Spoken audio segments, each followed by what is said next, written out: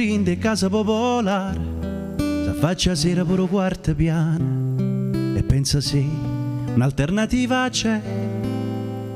Rumena che mattina bocca sape sbaglia, poi asciutte lacrime tutte e compagni, chissà se poi qualcuno pensa a me. Passano mezzo caffè un coppana roba. Cavalleggeri mi pare New York sarà cacchiò Figlio tuo cuore ma voglio a te. Cristiana scusa mi è salato Se non ci stai mi manco chat Quando mi stringe forte forte Quando mi ci fa male. E sta deriva culturale Che ci porta chi lontano a dove manca Rassio Mario Viernari. Stella che scende cielo stanotte pulisse vere fuia chi cullana ma sporca te chiede l'amore che e miracolo e devozione e perdono e rivoluzione che stai per me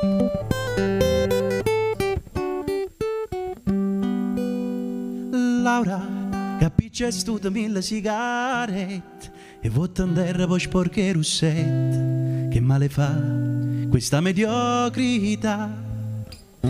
Sguardo e sorriso rocia fanno principessa, ma cala l'occhio se non so paese. Per un vecchio numero, gli viene a pigliare. Se parla una rete in de bar che stisciando Cavalleggeri mi pare New York sarà cacchiò Figlio tuo cuore ma voglio a te. Resti una scusa mi salato Se non ci stai mi manco chat Quando mi stringe forte forte Quando munna ci fa male. E sta deriva culturale Che poi ci porta chi non dà. A dove manca Rassio Mario Viernari.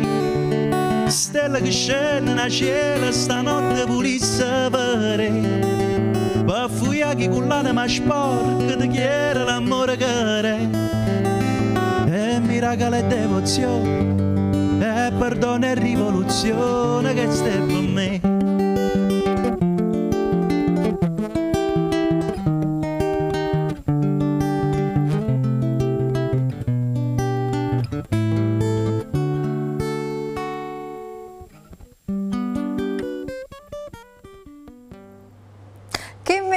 poesia, chitarra e voce. Tommaso Primo qui uh, a Mattina Live per cantarci questo suo brano incantevole titolato Cavalleggeri e New York nella testa di Laura, un singolo estratto dal suo terzo album titolato Favola Nera e tra l'altro questo è uno dei brani più apprezzati dal cantatore napoletano che sarà protagonista il prossimo 3 dicembre al Teatro Trianon Viviani con uno spettacolo imperdibile. Si accomodato. Complimenti Tommaso. Grazie mille. Una poesia, grazie. una nina dolce dolce, incantevole, è davvero bello questo brano. È una canzone che, come dire, rappresenta un po' quello che è l'album, no? un concept album di nove storie che sono ispirate, provengono dal ventre, anzi dal basso ventre della città partenopea e Cavalleggeri sì, è una canzone dolce che parla di una ragazza di periferia che guarda e sente il mare dal quarto piano del, della sua palazzina popolare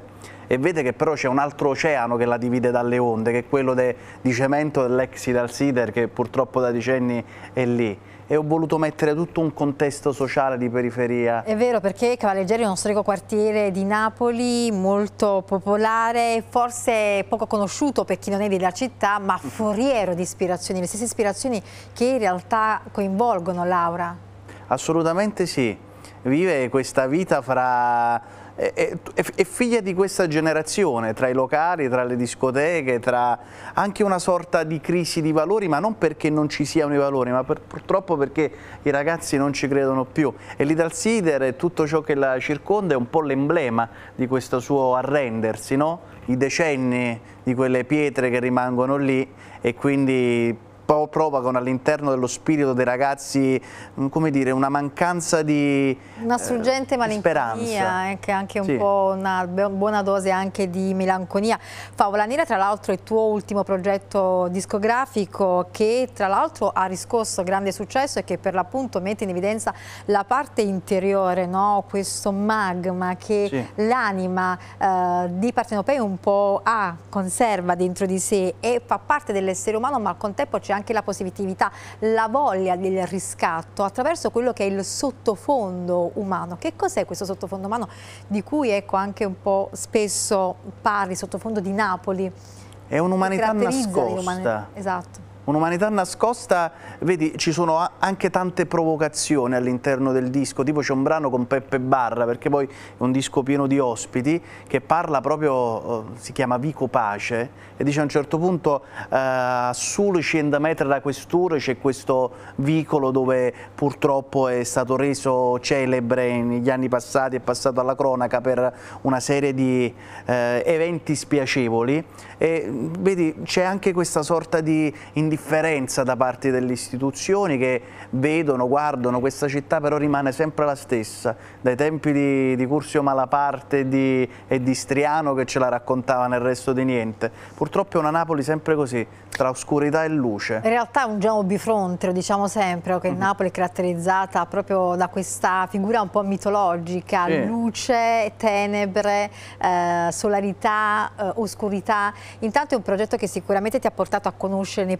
profondo il nostro capoluogo partenopeo, la città, insieme ad essa i tanti personaggi che la animano attraverso questo sottofondo di Napoli che per l'appunto, come ricordavi tu, sono poi protagonisti anche di questo tuo disco La Favola sì. Nera. Hai nominato il maestro Peppe Barra, ma tanti altri che hanno restituito sicuramente colore, corpo al racconto musicale. Ci sono tanti amici, c'è eh, Massimo Iovene dei 99 Posti, il Ludopatico d'Amore, ci sono i Foia con cui ho scritto un brano, c'è La Maschera che è un altro gruppo folk napoletano certo, che, come dire, i fratelli di, con Roberto Colella, c'è il maestro Peppe Barra, c'è la bravissima attrice Denise Capezza eh, che è sempre protagonista di ruoli femminili importanti nelle serie italiane, anche um, ruoli che mi colpivano perché sono sempre queste donne sì, che, che, trovano la forza, capito, di, uh, di che diventano d'esempio, no? perché sì. riescono, hanno quella voglia di potersi riscattare, quella voglia e anche di, di ribellarsi alle realtà in cui sono nato. E poi c'è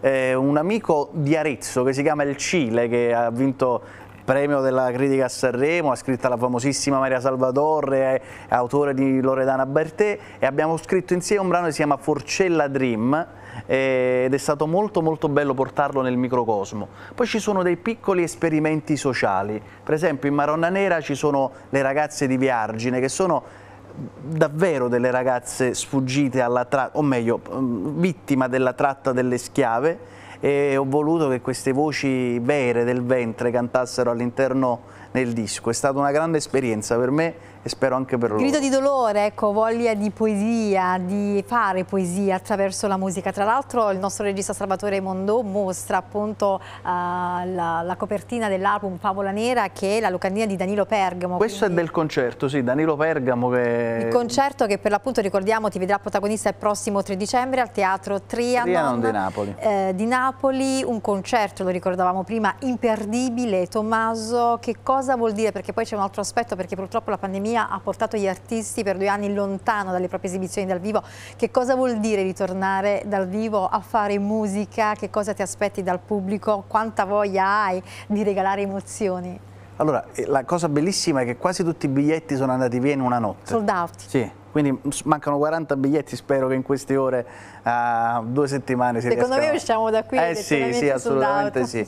Però è bello perché con questa pandemia l'arte, eh, come sempre in questo paese, lo spettacolo, la musica sono state relegate a ultima ruota del carro. Piano piano stanno ritornando e soprattutto c'è un'altra battaglia che, come dire, sposo con questo evento, che spesso sento dire a Napoli non ci sono i luoghi per fare la musica, ci sono, sono i teatri, sono abbandonati, sono chiusi, non sono vissuti dai giovani e io ho voluto fare un evento lì perché vorrei che di nuovo la gente andasse a teatro. Ritornare in teatro, applaudire dal vivo, avviare quello scambio osmotico di energie, di vibrazioni energetiche, un messaggio importante, non a caso scegli il teatro Trianon di Napoli, sì. che è sicuramente il teatro del popolo eh, ed è il teatro che in questo caso riveste un ruolo di grande significato sociale, come stai ricordando. Assolutamente Pensi che sì. possa, esserci, possa ripartire veramente in grande? Il tuo è soldato, però dico in linea generale come concetto dell'arte, della cultura, del fare cultura, del fare arte, teatro, spettacolo? Io credo che ci sia una persona molto coraggiosa che è Marisa Laurito che ha, ha, la direzione artistica del teatro. Io le ripeto sempre questa cosa, dico fare questo teatro è, è molto più di essere una semplice direttrice artistica, ma vuol dire eh, sposare eh, quella parte della città che si schiera con la luce, quindi sai in quei vicoli che spesso sono conosciuti per altro, no? E invece c'è quel posto che riunisce tanta tanta bellezza e fa conoscere la bellezza e io credo che sia ecco, molto più di un teatro. Tra l'altro la sfumatura è veramente sottile perché sì. ci ritroviamo nel quartiere d'interno sì. eh, di questo luogo che per appunto è carico di fragilità, eh, di oscurità ma un passettino poi ritroviamo il bellissimo percorso che è quello della luce, no? quello che poi fa capo sì. ai grandi visitatori e ai nostri turisti. Tommaso, pensi che questo sia il momento giusto per ritornare al teatro, ma soprattutto cosa possiamo fare noi, il contributo della società civile, per, sos per sostenere, supportare il teatro, gli artisti, i cantanti, le maestranze in particolare, perché poi le maestranze soprattutto sono state, è stata quella categoria eh, definita invisibile, certo, messa da parte nel periodo pandemico. Io eh, ho voluto un, un, biglietto molto popolare, quindi 15 euro, 20 euro. Io spero che anche gli arti artisti facciano così e eh, cominciamo di nuovo a, a, riscoprire questa cosa, a, a venirci incontro. L'economia non si ferma mai, è una cosa che fa parte del mondo, non si è fermata con, con la pandemia, quindi bisogna andarsi incontro e cercare di, di sposare, di riviverlo, capire che è una cosa fondamentale la cultura, l'arte, la musica per questa città. Sei emozionato? Sono, sì un po' sì, a volte lo vorrei nascondere, sai perché dico no, non so, sto bene, invece un pochino sì. Anche perché, lo dicevamo a telecamere spente, Tommaso, tanti anni oramai che sì. vivi di musica oramai, la musica ti appartiene da quando eri piccino. E sono stato un fortunato perché, capito, a 19 anni ho fatto il primo singolo, le canzoni sono andate bene, tra l'altro questa produzione è stata la prima ad ospitarmi in televisione tanto tempo fa, eh, sì, l'emozione riesci a controllarla, ma non svanisce mai del tutto. E questa volta al Trianon non ti nascondo che ogni tanto un po' di ansia che mi e respiro ma sei, forte. sei straordinario, intanto abbiamo ascoltato Cavalleggeri New York nella testa di Laura, terzo insomma, brano estratto dal terzo album Favola Nera, chitarra e voce, questo sì. abbiamo avuto modo, vogliamo salutare anche... Gianluigi Capasso alla chitarra e non c'è ma Peppe Spinelli che ha prodotto e arrangiato questo disco l'ha fatto in maniera molto minuziosa, lavora con me da tanto tempo e,